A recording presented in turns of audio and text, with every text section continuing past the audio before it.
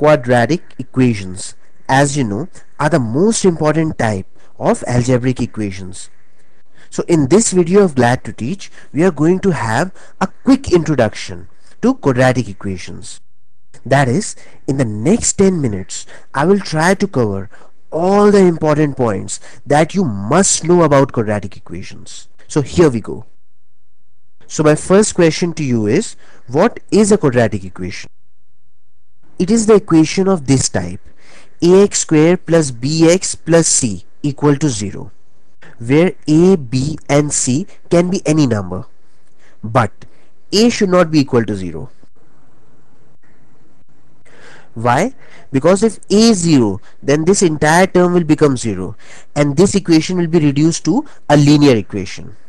See here is the example of a quadratic equation 2x square plus 5x plus 3 equal to 0 see a b c have been replaced by these numbers so in proper mathematical language the quadratic equation would be defined as it is an equation made from a second degree polynomial in its simplified form. That is, for any equation to be called a quadratic equation, it must fulfill two conditions. First is that, that it should be of second degree. That means that the highest power of x should be 2. And the second condition is that, that it must be a polynomial. Now, do you know what polynomial is? Polynomial is any algebraic expression where the power of the variable x is a non-negative integer. Like 2, it is a non-negative integer. Similarly, the power of this variable x is 1, which is also a non-negative integer. But if there is any variable in this entire expression which has a negative power, like let's say x is to power minus 1 or minus 2, whatever, any negative power or it has a fractional power like x raised to power 1 by 2 this is another way of writing root x then it will not be a polynomial and as a result it will not be a quadratic equation. I hope it is very clear. Okay so now let me check how much information you have absorbed. What I'll do I'll give you some equations and you have to tell me if those equations are quadratic equations or not. So let's see how many you're able to get right. So is this a quadratic equation say yes or no yes it is a quadratic equation as it fulfills the two conditions it is of second degree and it is made up of a polynomial See, no power of the variable x is either negative or fractional or is under root. What about this equation? Is it a quadratic equation? Yes, this is also a quadratic equation. Once again, it is of second degree and it is made up of a polynomial. Only thing is that that this term, the middle term, is missing. That is b must have been equal to 0 but it is still very much a quadratic equation as it fulfills these two vital conditions. So what about this equation this one is not a quadratic equation though it deceptively looks as if it is a quadratic equation because of the second degree but then if you read the fine print in its simplified form Let's simplify this equation further by getting rid of this denominator x. And you know how it's done. Multiply both sides of this equation by x. x multiplied with this x will make it x square and if we'll multiply this x here it will cancel this denominator. x times x square is x cube plus x square plus 3 equal to 0. Now it shows its true color. Yes, this one is a cubic equation of third degree. Thus, it is not a quadratic equation. So now tell me, how about this one? You have to get this one right. Is it a quadratic equation or not? This one is a quadratic equation. Surprised?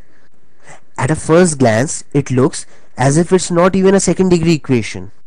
But then, in its simplified form, once again, get rid of this x in the denominator. So, x times x is x square and plus x and plus this x and this x cancels out equal to 0 now this is surely a quadratic equation. So quickly tell me is this a quadratic equation?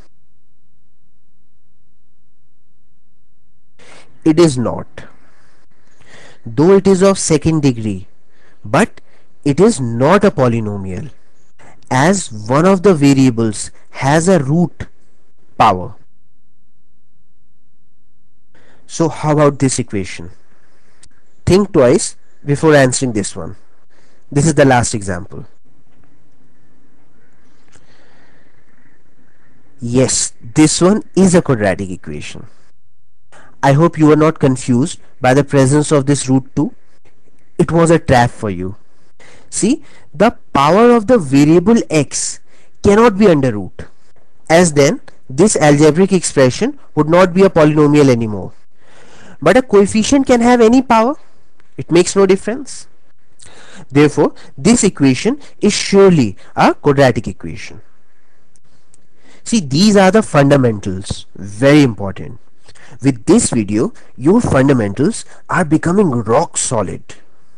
Now we can easily build a skyscraper of knowledge on your strong fundamentals and it will last forever.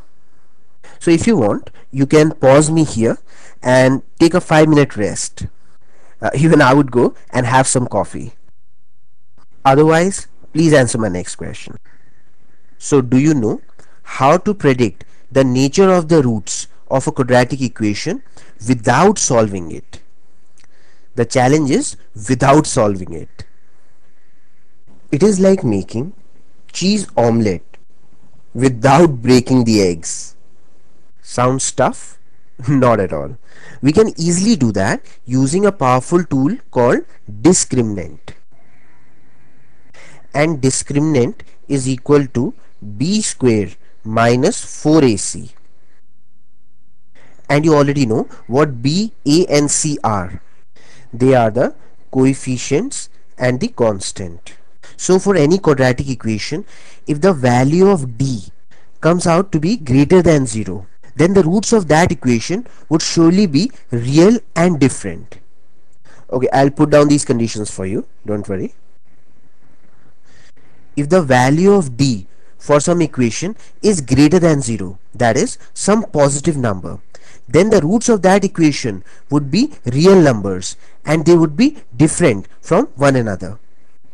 When d is equal to 0 then the roots would be real but they would be equal and when d is less than 0 that is a negative number then that equation will have no real roots.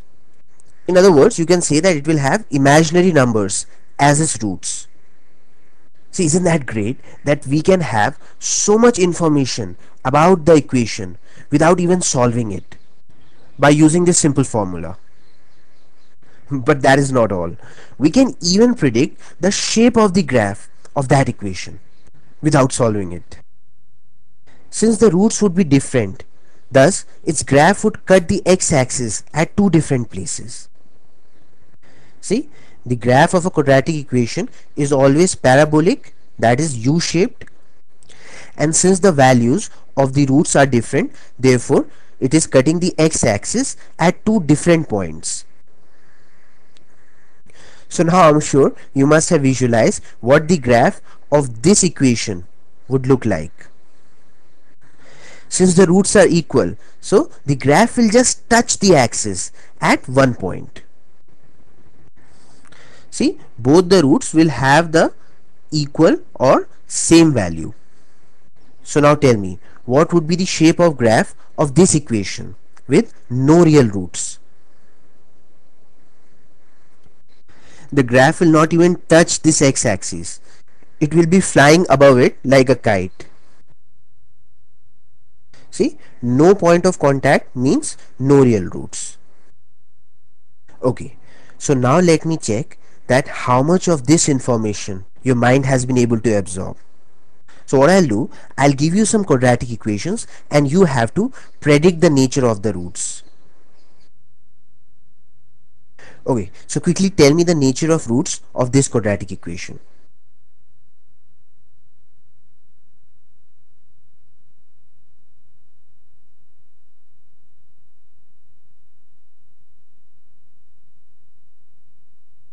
So d equal to b square minus 4ac. b square is minus 6 square which is 36 minus 4ac. 4 times 3 is 12 and 12 times 3 is 36. So 36 minus 36 is 0.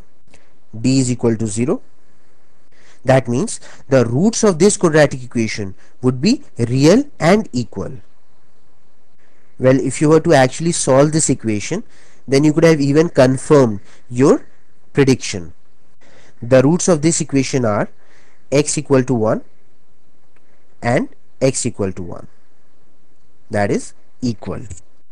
That means this point is 1. So how about this equation? Let's see if you can predict the nature of its roots.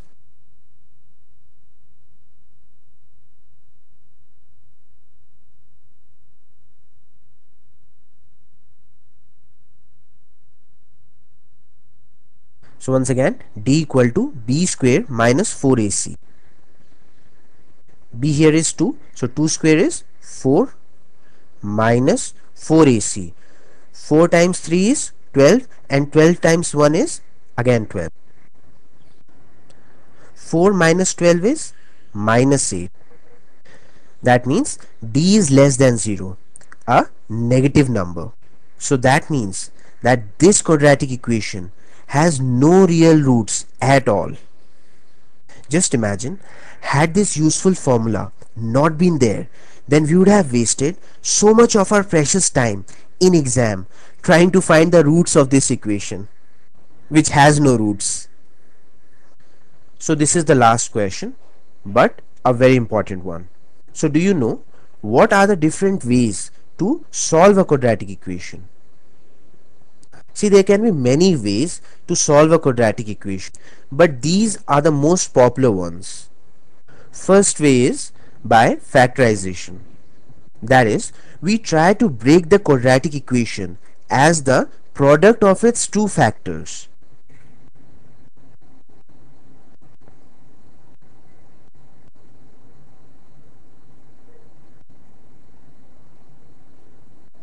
See, these are the two factors of a quadratic equation and once we have the factors we can easily find the roots as well.